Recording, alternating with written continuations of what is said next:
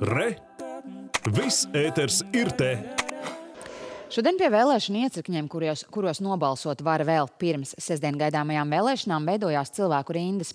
Iedzīvotāji, kuriem sestdien nokļūt vēlēšanu iecirknī dažādu iemeslu dēļ, nebūs iespējams, ļoti aktīvi izmanto šo iespēju.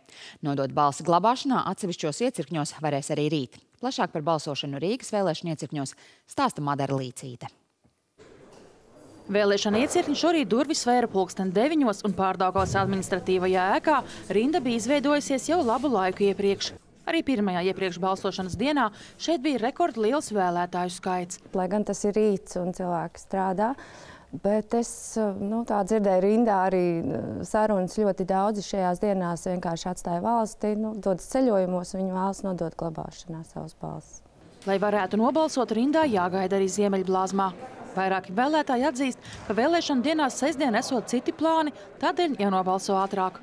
Vēlēšana komisijas vadītāja novērojas, ka vēlētājiem iepriekš balsošanas procedūra ir skaidra un cilvēkiem nav pretenziju arī uzgaidīt rindā. Visu laiku ir ko darīt, cilvēki nāk un vēlas nodot savu balsi. Īsi pirms iecirkņa slēgšanas Rīgas 49. vidusskolā cilvēki vēl steidz pagūt un nobalsot.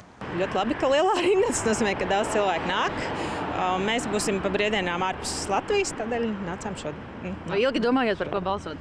Um, nu, neteiksim, ka ilgi, bet uh, jā, bija bišķiņi jāpadomā.